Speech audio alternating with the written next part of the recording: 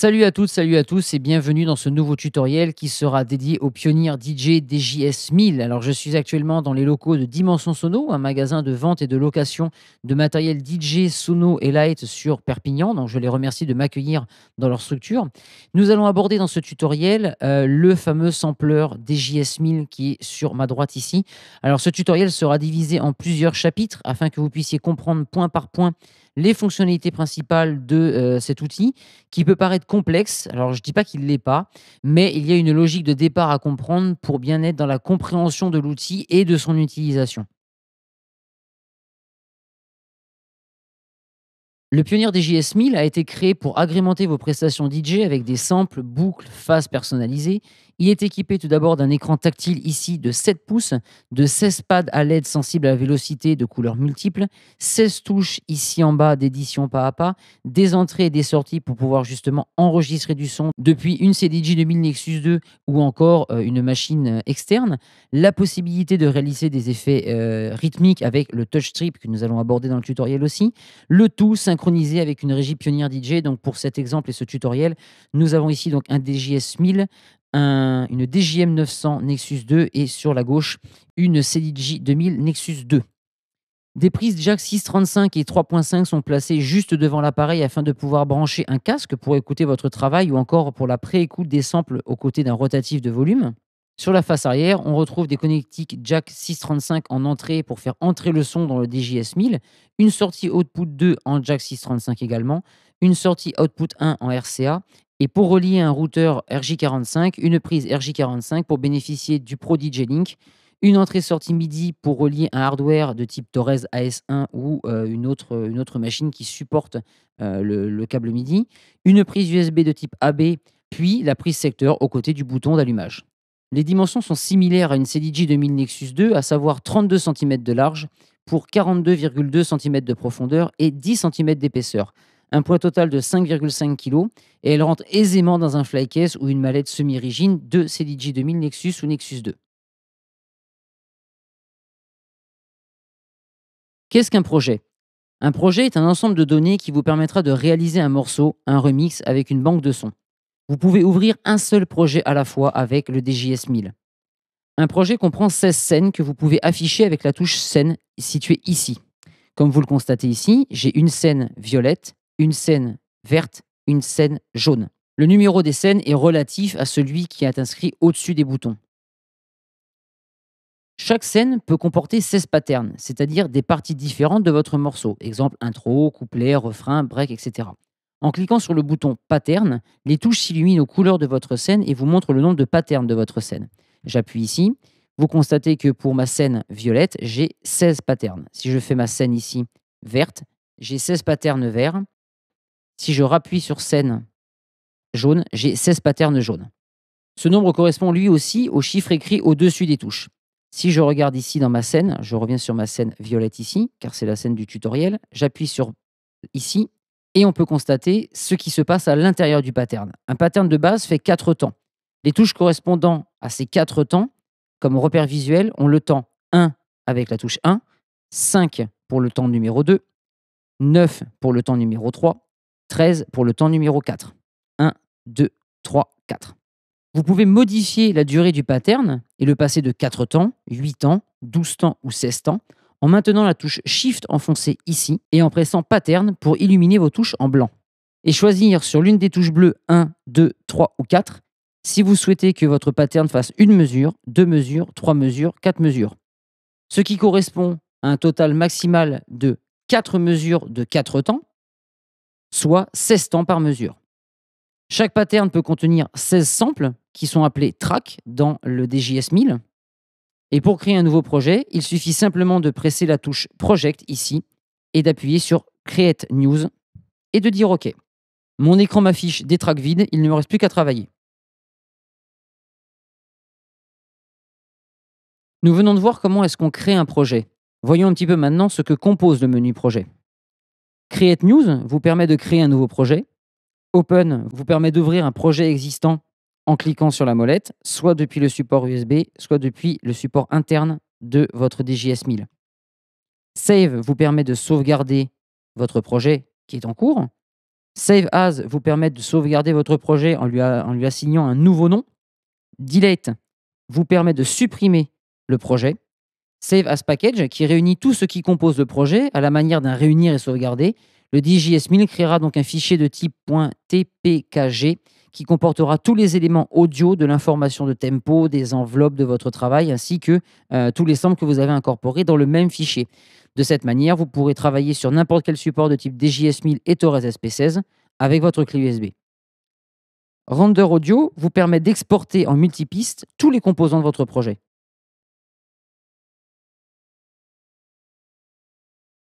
Nous allons voir comment importer un sample dans un track.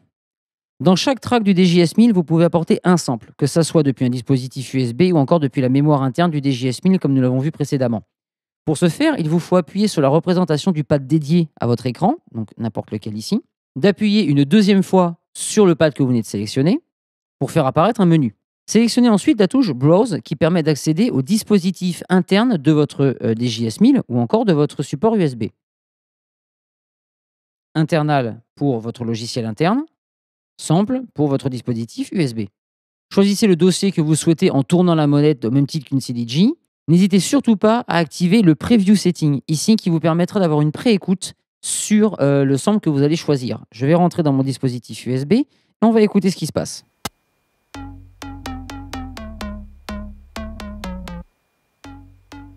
Vous entendez la pré-écoute? Cette préécoute peut être aussi paramétrée. Si je laisse mon doigt appuyé sur Preview Setting, je peux afficher le Preview Monitor qui me permet de diriger le son vers le master et mon casque. Et si je clique dessus, je peux l'avoir que vers mon casque. Ça va être beaucoup plus pratique si vous êtes en train de jouer et que vous avez besoin d'écouter des sons dans votre casque sans que votre auditoire l'entende. Je me remets sur Master et Headphone et je peux aussi monter le volume de ma préécoute. Je vais le mettre à fond. OK. Et je réécoute.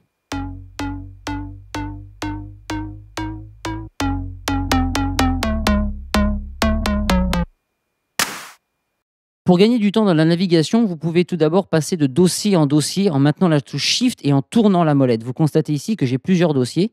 J'appuie sur Shift, je tourne ma molette et je vais de dossier en dossier, même si ceux-ci sont ouverts. Une autre chose très utile pour gagner du temps est la fonction Search, qui vous permet, une fois que vous appuyez dessus, de faire apparaître un clavier QWERTY tactile dans lequel il ne vous reste plus qu'à appuyer sur euh, les touches afin d'écrire le nom que euh, vous souhaitez trouver. Donc là, on va essayer avec basse.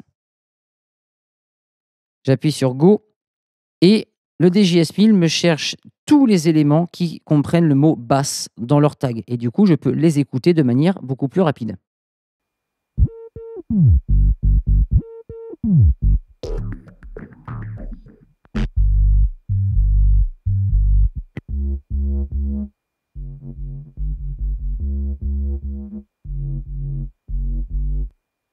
Plutôt que de revenir à chaque fois dans l'écran principal pour choisir un nouveau pad, puis mettre un nouveau sample, etc., je vous invite à appuyer sur un pad et vous constaterez qu'ici, sur l'écran, la couleur change. Vous choisissez le pad, vous tournez, vous appuyez, vous changez de pad,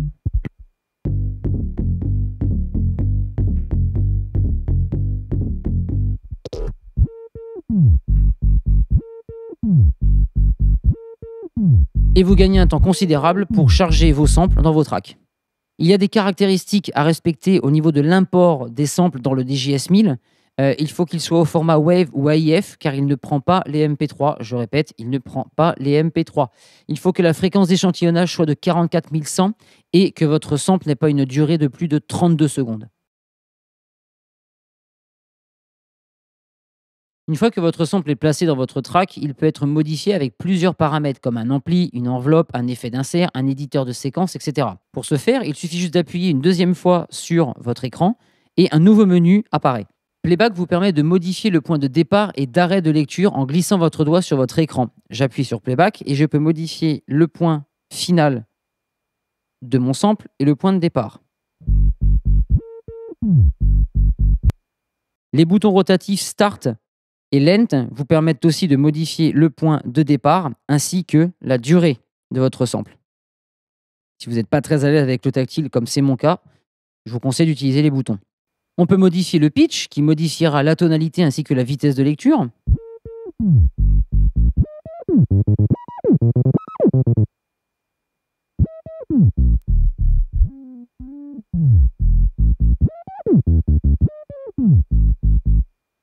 On peut choisir de lire le sample en boucle ou en one shot via le bouton loop ici.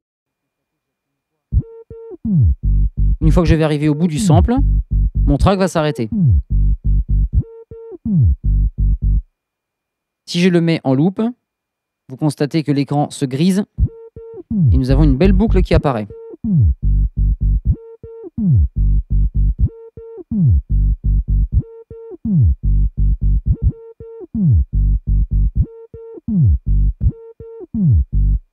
Le dernier rotatif est le trigger qui vous permet de modifier le mode de lancement de votre track. Quand il est en one shot, j'appuie, le track démarre, je rappuie, il redémarre au début.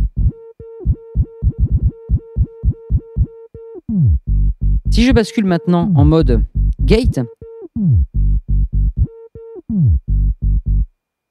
le sample ne sera lu que quand j'aurai le doigt appuyé dessus.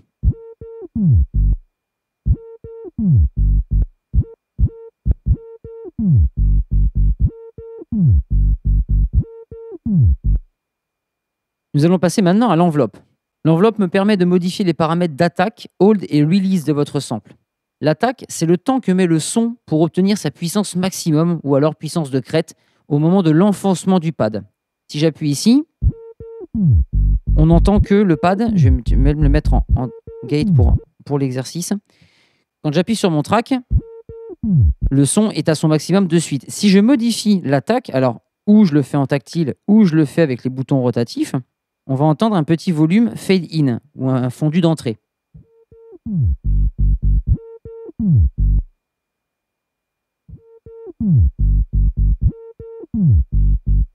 Hold est le temps de maintien du son jusqu'au paramètre release. C'est-à-dire qu'à partir du moment où je vais mettre un release, donc je vais commencer par le release, je vais lui demander de réduire le hold et d'augmenter le release. Ça veut dire que si on a un fondu en entrée, on aura un fondu en sortie. Alors le sample est assez long, il hein, faut attendre.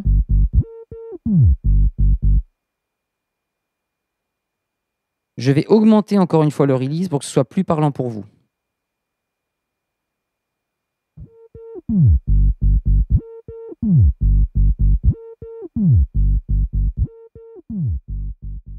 Je vais remettre les paramètres à 0 et nous allons passer à l'onglet FX.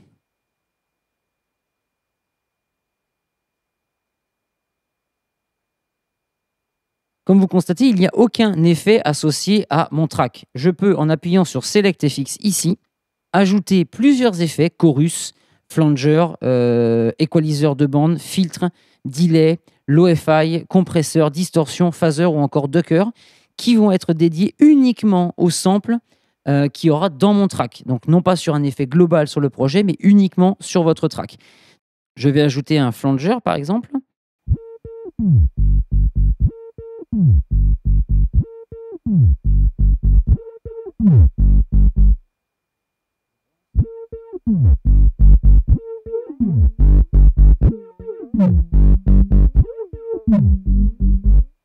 Évidemment, les paramètres sont euh, modifiés euh, aux extrêmes pour que vous puissiez entendre ce que ça donne.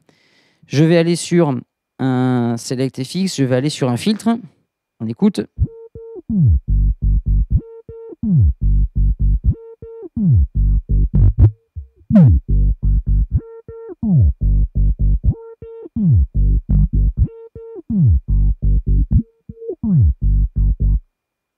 Nous allons regarder les derniers boutons de ce menu. Nous avons un LFO qui est un Low Frequency Oscillator dédié lui aussi à votre sample avec la possibilité de choisir sur quels paramètres il va, euh, il va pouvoir euh, agir. Donc la destination, vous voyez, on a sur le pitch, le start, euh, la durée, l'enveloppe, la vélocité et nous avons énormément de paramètres.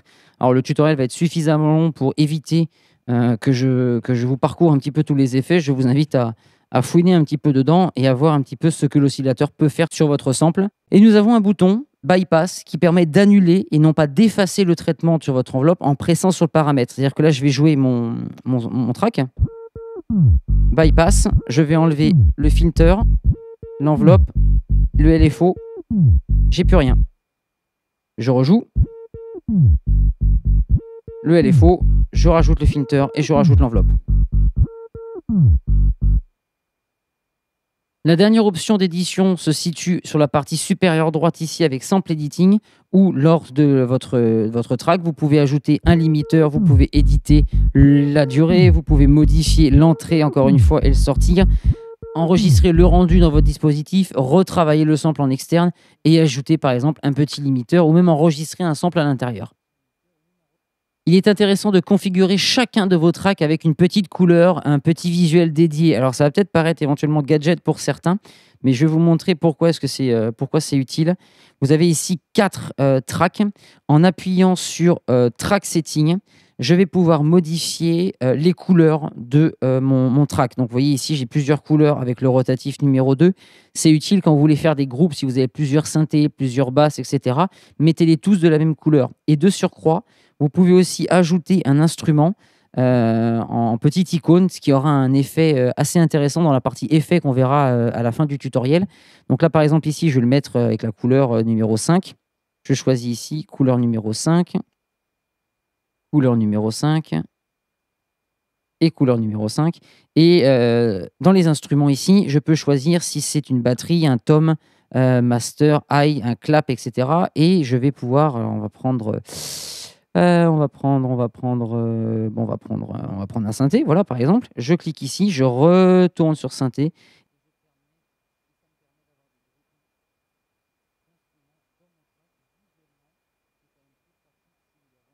Si vous souhaitez déplacer un track dans vos pads, il vous suffit juste d'appuyer une fois sur le pad, swipe form, et d'appuyer sur l'endroit où il va aller, swipe tout, et vous cliquez dessus, et hop, instinctivement, le sample est déplacé.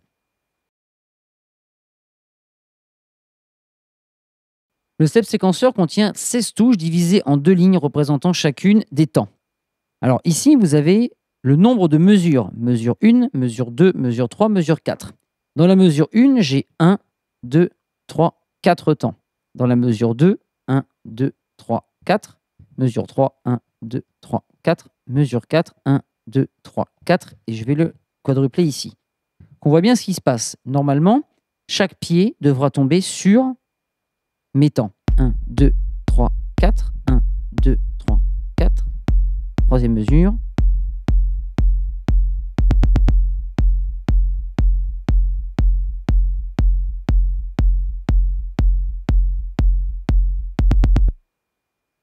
Si vous n'avez pas perdu le fil, nous avons donc 1, 2, 3, 4 mesures de 4 temps. 4 x 4, 16. 2, 3, 4, 5, 6, 7, 8, 9, 10, 11, 12, 13, 14, 15, 16. Pour ajouter des éléments à votre séquenceur, appuyez sur un pad sur l'écran tactile et choisissez l'endroit sur votre step séquenceur pour le placer.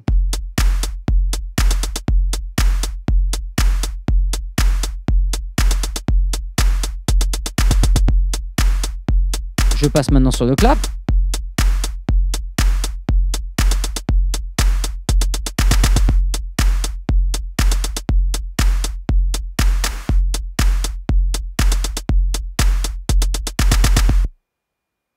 Vous constatez qu'à chaque fois que j'appuie sur une touche, le sample du track s'incorpore et du coup me permet de créer une rythmique. Pour afficher entièrement votre séquence, l'écran tactile propose la section sec située en haut à gauche ici. Et regardez sur votre écran, j'ai tous mes sons qui sont exactement placés dans mes séquences. Première mesure, deuxième mesure, troisième mesure, quatrième mesure, sur les trois sons que j'ai mis précédemment. Certains d'entre vous vont vouloir enregistrer en temps réel et par-dessus ce qui a pu être enregistré précédemment. Certains appellent ça l'overdub. Eh bien, grâce à la touche record, on arme l'enregistrement. Et je vais prendre, par exemple, je reviens sur mon séquenceur ici, je prends le kick, je vais jouer mon kick à la main il va s'enregistrer par-dessus. Je me mets sur la première mesure pour que vous puissiez bien voir que le kick va euh, s'agrémenter.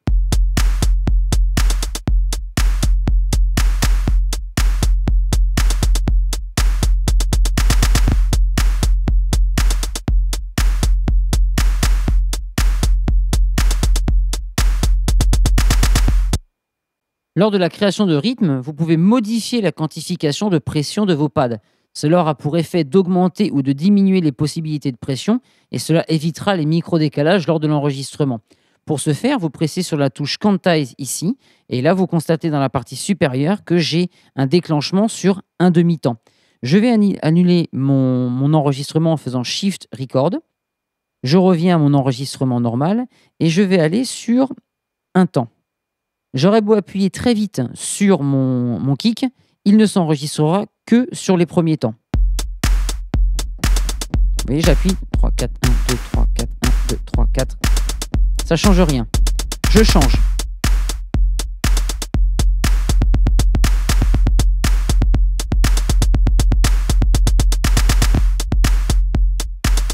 Le quantize 1 tous les temps, demi-temps, quart de temps, huitième de temps ou off. Pour celles et ceux qui veulent ajouter un petit peu de groove ou de swing à leur jeu de pad, pressez l'écran BPM ici. Je fais précédent, j'appuie sur BPM. Vous constatez que mon BPM de base est de 120. Je peux rajouter ici, en tournant sur la molette, un swing qui me permettra d'avoir des micro-décalages entre mes jeux de pad.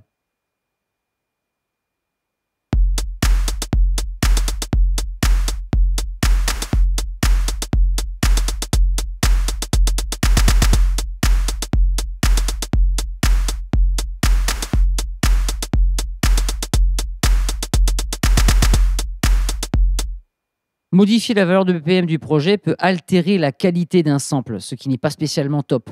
Donc le DJS 1000 propose dans une solution euh, assez intéressante le time stretch pour chacun de vos samples via le rotatif dédié. Je reviens sur mon interface ici, j'appuie sur mon kick et vous voyez ici time stretch master tempo. À l'équivalent d'une CDJ, vous allez avoir le sample qui va euh, suivre le tempo sans être déformé. Je vais annuler l'enregistrement, je vais muter les pistes ici pour avoir que mon kick. Je modifie le tempo.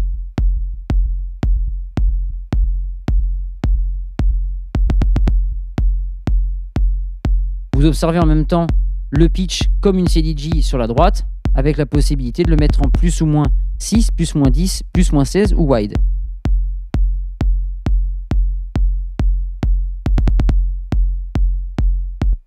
Si j'enlève le time stretch de master tempo, je mets resampling. Écoutez bien ce qui va se passer.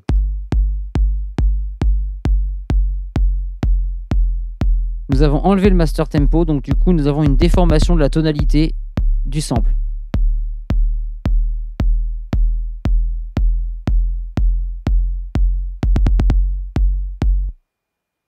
Le mode off aura pour effet d'avoir aucun time stretch sur votre clip.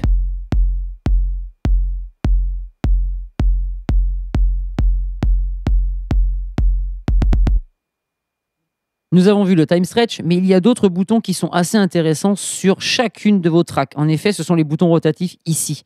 Je vais refaire la lecture complète de ma rythmique.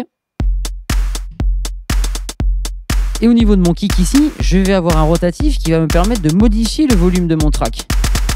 En l'occurrence de mon kick.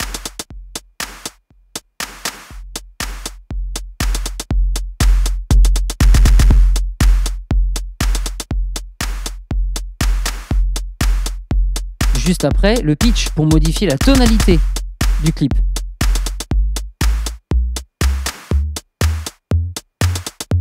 Vous pouvez de cette manière plus ou moins l'accorder.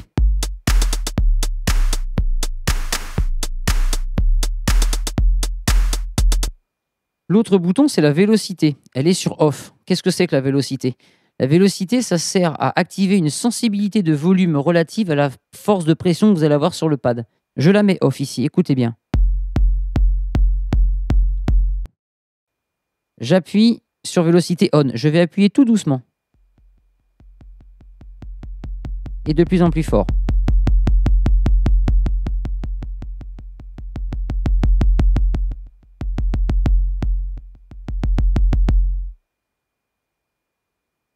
Je désactive la vélocité le time stretch, on vient de voir. Loop, afin de savoir si vous souhaitez ou non que votre son soit joué en boucle. Et trigger mode, on l'a vu tout à l'heure avec le one shot. Si on appuie, le sample joue. Si je rappuie, le sample rejoue depuis le début. Si je mets en gate, il sera euh, joué à partir du moment où mon doigt restera appuyé sur le pad.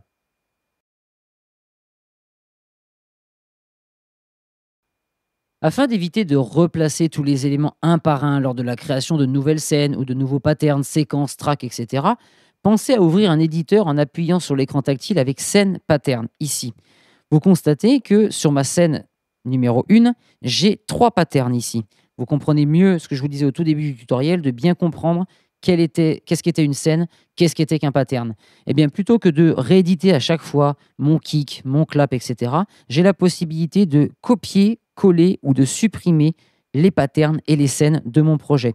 J'appuie par exemple sur euh, un pattern ici, je choisis de le copier et de le mettre sur le pattern 13, paste, coller. J'ai envie de copier ma scène, je fais copier, je vais sur la scène numéro 3, je la copie. Du coup, elle change de couleur.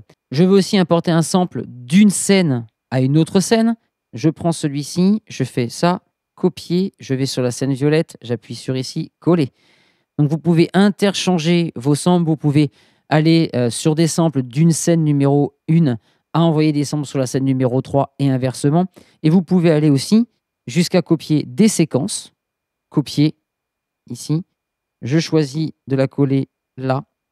Euh, je choisis de copier, par exemple, celle-ci. J'appuie sur mon track et je la descends et je le mets là. Donc, vous pouvez vraiment multiplier euh, vos, possibilités d'édition, sans compter les tracks. Ici, vous constatez que j'ai 1, 2, 3, 4, 5, 6, 7, 8 tracks ici. Je veux que la 12 soit copiée dans ma scène numéro 3 et je veux qu'il soit collé ici. Et tout se fait de manière super intuitive.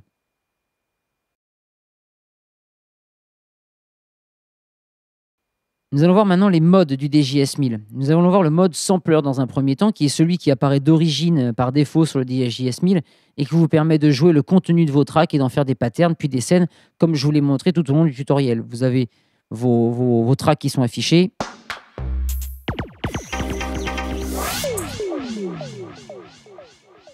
Ça, c'est le mode sampler. Le mode mute vous permet de couper le signal d'un pad qui sera lui toujours en lecture. Je fais par exemple une lecture ici. J'appuie sur mute. Les pads, les tracks qui sont joués sont en train de clignoter. Si je veux les muter, j'ai juste appuyé dessus.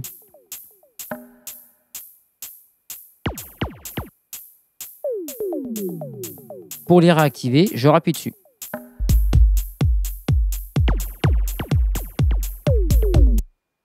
Le mode Hot Slice découpe le sample que vous avez sélectionné en 16 parties appelées Slice. Vous pourrez alors jouer n'importe quelle partie de ce sample alors que celui-ci est en train de tourner, ce qui lancera la lecture à partir de l'endroit choisi. En maintenant le bouton Hot Slice, ici, je fais apparaître les différentes slices de mon écran. Avec le premier rotatif, je peux choisir quel slice je veux modifier. Je peux choisir la position de chacun des slices. Ensuite de ça, je peux voir quand est-ce que c'est que le slice démarre. Je peux aussi choisir la longueur du slice et aussi les différentes areas, c'est-à-dire les différentes séquences de votre slice. Je fais ici le numéro 1, le numéro 6, le numéro 2, 4,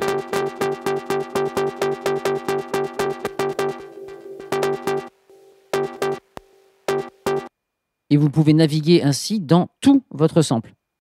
Nous allons passer maintenant au mode slice qui lui découpe votre sample, mais par contre ne va pas laisser la lecture se, se diffuser. Regardez bien.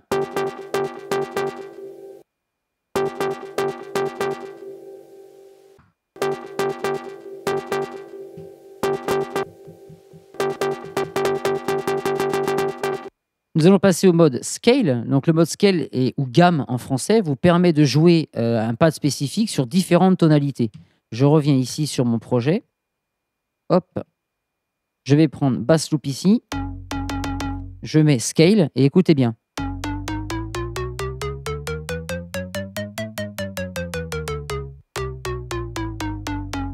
D'origine, le pad situé en bas à gauche contient le sample avec la tonalité d'origine, ici plus 1, plus 2, plus 3, plus 4, etc., etc.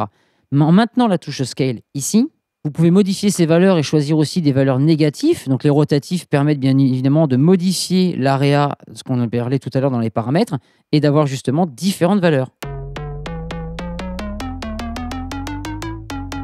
Là, nous revenons avec la valeur par défaut. Je redescends, ou je remonte du moins. On peut aller jusqu'à plus 24 moins 24.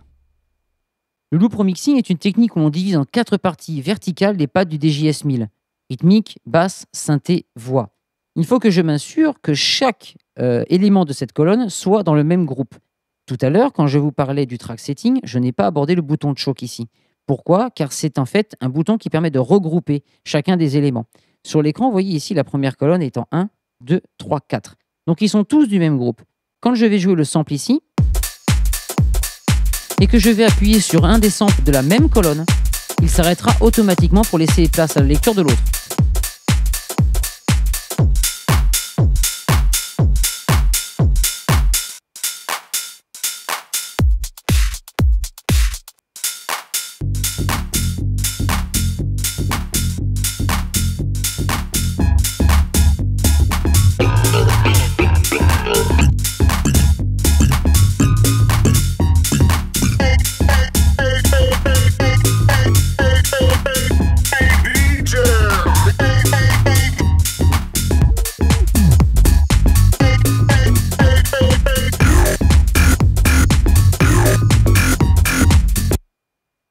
Sachez que vous pouvez mixer vos éléments à l'image d'une table de mixage en appuyant sur l'écran tactile sur la partie mixeur ici pour avoir le volume de chacune de vos tracks ici avec la possibilité de le monter ou de le descendre comme une table de mixage avec des vues mètres.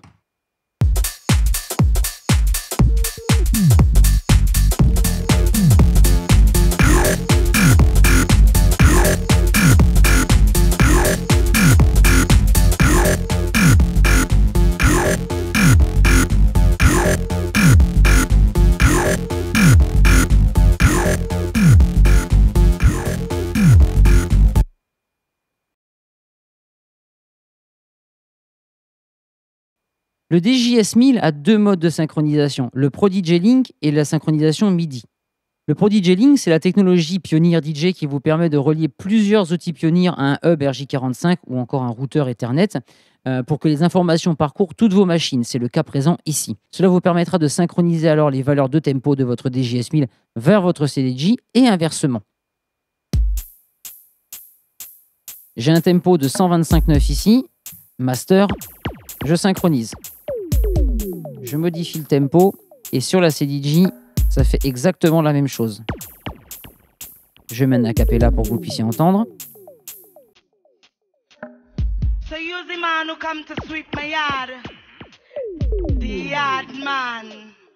I like that broomstick you're carrying. Yes, baby, I like it. Oh, so use the man who come to sweep my yard. Je bascule en master ici. Je synchronise là.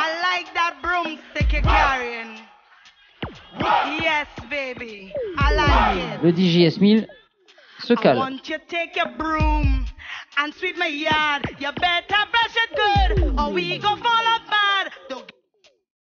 Ça, c'est pour le mode Pro DJ Link. Si vous choisissez une synchronisation MIDI via un câble MIDI, votre DJS 1000 pourra alors se synchroniser avec des logiciels externes qui supportent le MIDI de type Ableton Live, pour ne citer que lui, ainsi que des machines hardware comme le Torres AS1 par exemple, ou d'autres machines analogiques. Imaginez maintenant que vous avez un léger décalage entre votre CDJ 2000 Nexus 2 et votre DJS 1000. Vous avez la possibilité de rattraper ce micro-décalage avec la touche nudge ici plus et moins, comme si vous aviez un plateau de platine CD. So use the man who come to sweep my yard. The yard man. I like that broomstick you're carrying. Yes, baby. I like it. Oh, so use the man who come to sweep my yard. Vous constatez que le tempo change. Ce qui vous permet de rattraper les micro-décalages. C'est quand même plutôt sympa.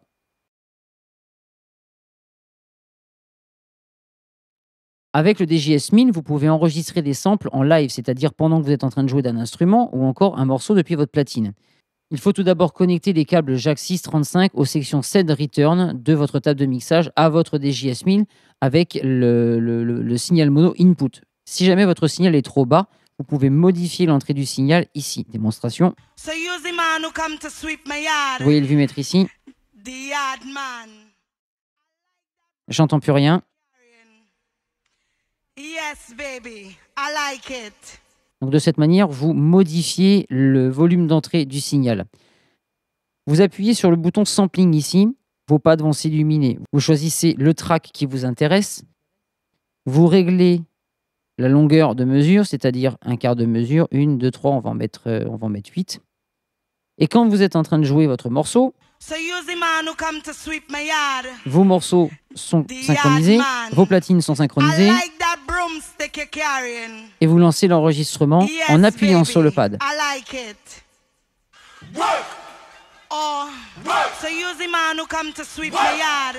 J'arrête ici, j'enlève mon mode sampling, je fais play.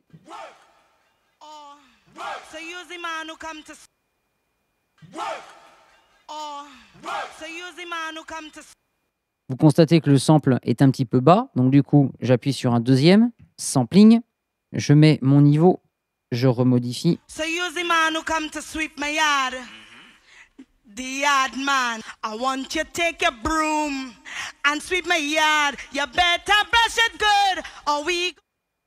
Je fais play.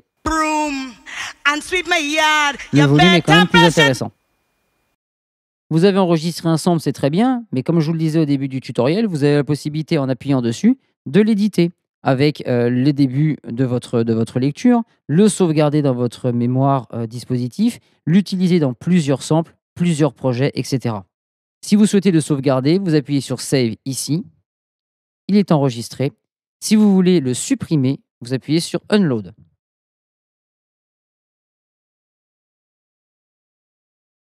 Il existe plusieurs effets dans le DJS 1000, tout comme dans une table de mixage Pioneer DJ. Vous pouvez l'activer de la même manière en appuyant sur le bouton On-Off ici et varier l'intensité d'application de votre effet sur votre sample. On peut choisir ces effets avec le bouton FX ici présent. Alors pour raccourcir un petit peu le tutoriel, je ne vais pas tous vous les présenter. Je vais prendre le premier qui vient. Donc lors de la sélection de votre effet, vous avez plusieurs options de personnalisation qui apparaissent en bas de l'écran. La résonance, etc. Donc j'acclique ici je fais on et j'active. Vous entendez mon filtre qui s'active. Je peux choisir la résonance.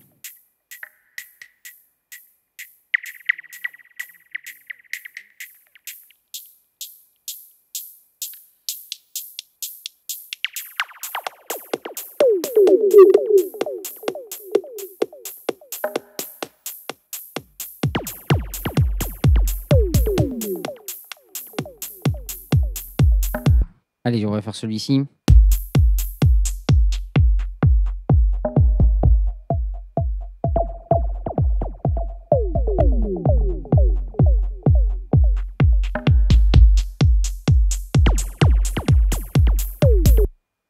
Rappelez-vous, au début du tutoriel, je vous disais que personnaliser vos tracks était super intéressant. Pourquoi?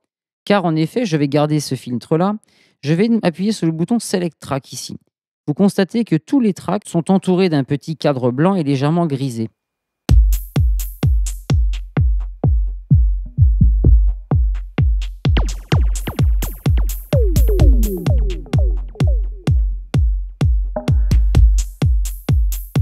Là, on les a choisis un par un. Je désélectionne.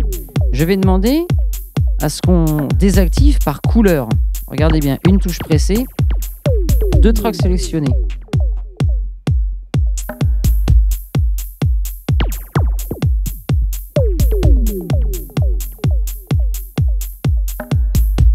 Ou encore par instrument. Je vais avancer un peu dans mon track.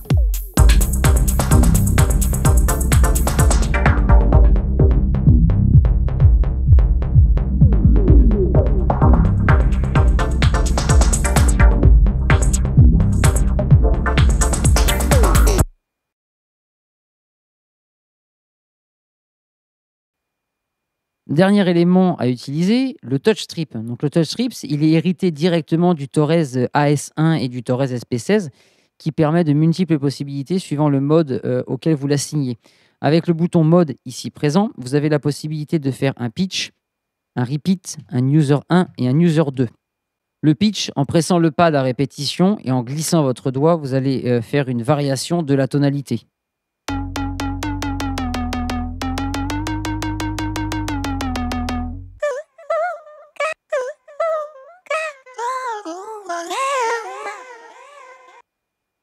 Repeat, En maintenant un pad appuyé, puis en glissant votre doigt sur la touche trip, une répétition de votre sample se fera de manière rythmique. Les valeurs euh, rythmiques sont euh, affichées sur le côté. 1, 1, 1 demi, 1 quart, 1 huitième.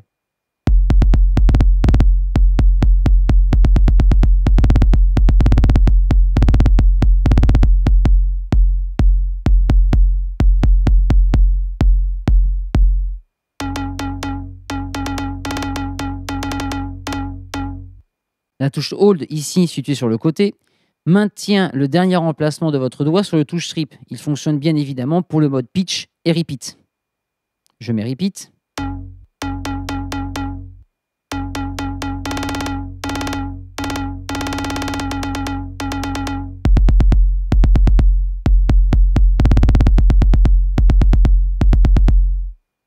User 1 et User 2 vous permettent de mapper des fonctions différentes sur le touch strip. Maintenez le bouton Home pour avoir accès au menu des préférences. Je vais sur User 1, Home maintenu. Et dans le menu des préférences, je vais sur Touch Strip, Touch Strip Setting. User 1, User 2.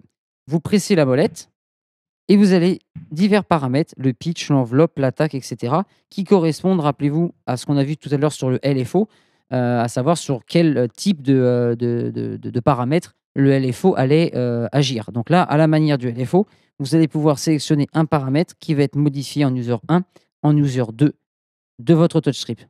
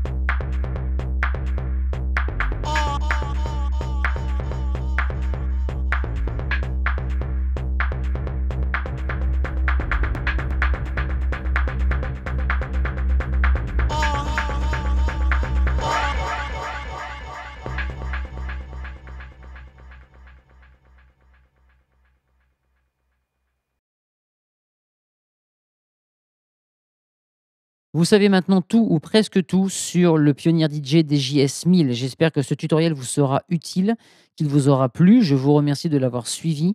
Heu, je ne m'excuserai pas sur la longueur du tutoriel car comme vous le savez, c'est un petit peu la ligne rouge de la chaîne.